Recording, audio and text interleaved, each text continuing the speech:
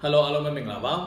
နံပါတ်1မေကွန်ကတော့လာရိတ်မိတာတာပါစီကြောက်တယ်တာဆေးတောက်ရုံနဲ့ပြောက်ပါသလားတဲ့ပုံမှန်အဖြစ်တော့အဲ့အဖြေကတော့ကျွန်တော်တို့စီကြောက်ရဲ့အရွယ်စားပေါ်မူတည်တယ်စီကြောက်အမျိုးအစားပေါ်လည်းမူတည်ပါတယ်စီကြောက်ရွယ်စားသေးတယ်ဆိုရင်တော့ရေပြင်းများတောက်ပြီးတော့စီးမတောက်တဲ့ပြောက်တဲ့လူတွေတောင်ရှိတယ်တချို့ကလည်းမဟုတ်ဘူးစီရေပြင်းများတောက်တယ်စီးလည်းတောက်ရင်းနဲ့ကြောက်တွေကြွားလည်းရှိပါတယ်ကြောက်အရွယ်စားအရန်ကြီးတော့ခွဲစိတ်ရတာလည်းရှိနိုင်ပါတယ်နောက်တစ်ခါကျတော့အော်ကြောက်ကက် မှာရေအိတ်ရှိတာကိုမေးတာပါပီယာပီယာမေးတာပါပါကြောက်ကပ်မှာရေအိတ်ရှိတာကတော့ကျွန်တော်တို့ရဲ့ဒီအာနာဆောင်ရိုက်ပြီးတွေ့တာများတယ်ရေအိတ်ရဲ့အရွယ်စားပါမှုတွေကြောက်ကပ်ရဲ့ရေအိတ်ဆိုတာကြောက်ကပ်မှာရေအိတ်လေးရှိနေတာပါရေအိတ်သေးရင်တော့ပုံမှန်အပြည့်တော့ဘာမှမဖြစ်ပါဘူးဒါပေမဲ့အဲ recheck ပေါ့နော်အများအားပြန်ပြီးတော့အာနာဆောင်ပြန်ပြန်ရိုက်ကြည့်နေရတယ်အဲနောက်ပြီးတော့ဒီကြောက်ကပ်ရဲ့ရေအိတ်ကကြောက်ကက်ရဲ့လုပ်ငန်းတွေကိုနှောက်ယှက်ပြီးဆိုရင်တော့လည်းအရေးကြီးတော့ပါတယ်ဒါကတော့ကြောက်ကက်ဆရာအောင်နဲ့တီချာပြသမှာပါ နောက်ပြီးတော့မအေးအေးတမ်းမိတာဒါတွေးကြစေးတောက်မိသွားပြီးဘယ်တော့မှဖြတ်လို့မရတော့ဘူးလားတဲ့တွေးပေါင်ပြန်ကောင်းနေတော့လေဒါကတော့ဟုတ်တွေးပေါင်ချင်းဘလောက်ပေါ်လဲမူတည်တာပေါ့နော်တချို့ကလည်း 140 90တော့၎င်းတွေးပေါင်ချိန်နဲ့ပဲရှိတယ်တွေးကြစေးတောက်တယ်တက်တာွားတယ်ဟိုနောက်အနေထိုင်လည်းအရန်ဆင်ချင်လိုက်တယ် exercise လည်းလုပ်တယ်ခန္ဓာကိုယ်ကလည်း weight လေးကျလာတယ်ဆိုတွေးပေါင်ချင်းပြန်ကျသွားလည်းရှိတယ်ပြန်ကျတော့ဆို normal ပြန်သွားလည်းရှိတယ်ဒါပေမဲ့အများကြီးတော့180တို့160သမားတွေကတော့တွေးပေါင်ချိန်ကျွန်တော်တို့အတွေ့အကြုံရတော့တွေးပေါင်ကြစီရတက်လုံးတောက်တယ်တော့မှာပါတယ်နောက်ပြီးအစားအသောက်လည်းထိန်းရသေးတယ်တွေးပေါင်ဆိုတာကလည်းတွေးပေါင်ကြစီတောက်နေပြီမဲ့တွေးတိုးတာလည်းရှိတယ်အဲ့တော့အစားအသောက်တွေမထိန်ဘူး weight ကိုလည်းမထိန်ဘူးအစီတွေကိုလည်းမထိန်ဘူးဆို weight တက်လာတာရှိတယ်အဲ့တော့ကိုတွေးပေါင်ချိန်ကိုလည်းမူတည်တာပေါ့နော်နောက်ပြီးကိုကဘယ်လောက်လိုက်နာနိုင်လဲပေါ့နော်အာ healthy lifestyle ပေါ့ကျန်းမာတဲ့ပုံစံကိုကိုဘယ်လောက်လိုက်ပြီးတော့ဟိုလိုက်လုံနိုင်လဲပေါ့မူတည်တယ်အစားအသောက်ကိုအနေထိုင်ကောပေါ့ပုံမှန်အပြည့်တော့တွေးကြစီရတော့တသက်လုံးတောက်ရတာများတယ်အဲ့လိုပုံမှန်ထိန်းနေမှာကျွန်တော်တို့ကအာလီဖြတ်ခြင်းကိုကာကွယ်နိုင်မယ်တွေးသူ့ရဲ့နောက်ဆက်တွဲကြောက်ကပျက်စီးခြင်းကိုလည်းကာကွယ်နိုင်မှာဖြစ်ပါတယ်ဟုတ်နောက်တစ်ယောက်ကတော့မနီနီဝင်မိတာပါညာဘက်လက်ညာလက်ကလေးလေးကိုွေးလိုက်ဆန့်လိုက်နာတယ်နှစ်လလောက်ရှိပြီ အမပြောတဲ့ပုံဝင်ရပါတော့ကျွန်တော်တခါလေကြာရင်လည်းကျွန်တော်တို့ဒီကနေဖြေရတာကိုယ်တိုင်စမ်းတက်လို့မရတဲ့ပဲသူ history နဲ့ဖြေရတော့တချို့ရတယ်လိုအပ်တာလည်းရှိလိမ့်မယ်ဒီမနီနီဝင်မိတဲ့ပုံကကျွန်တော် trigger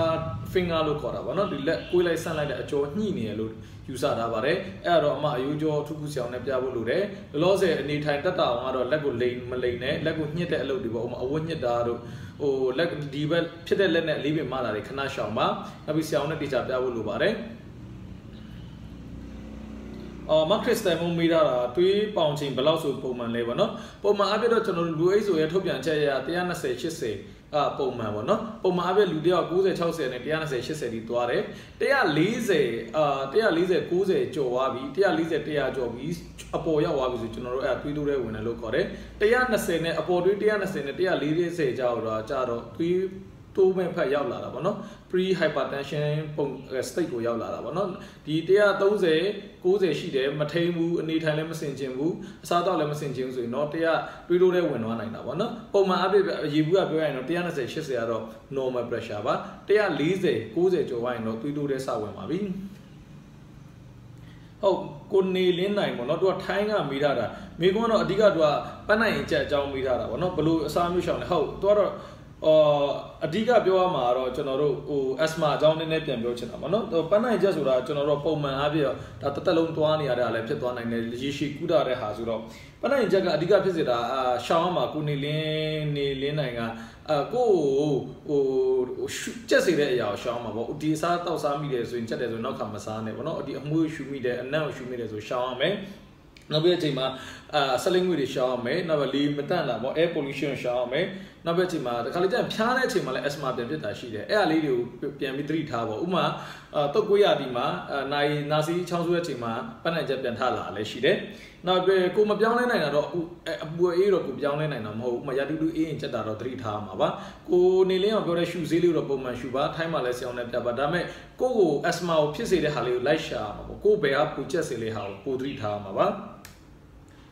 နောက်ပြီးမအေးပြုံးမိတာတာကသူ့မှာကိုလက်စထရောရမ်းများနေတဲ့ LDL များတယ်တဲ့စီးအမြဲတောက်မှာလားဗောနော်အဲ့ဒါကြောင့်မပြောပြခင်ကိုလက်စထရောများတယ်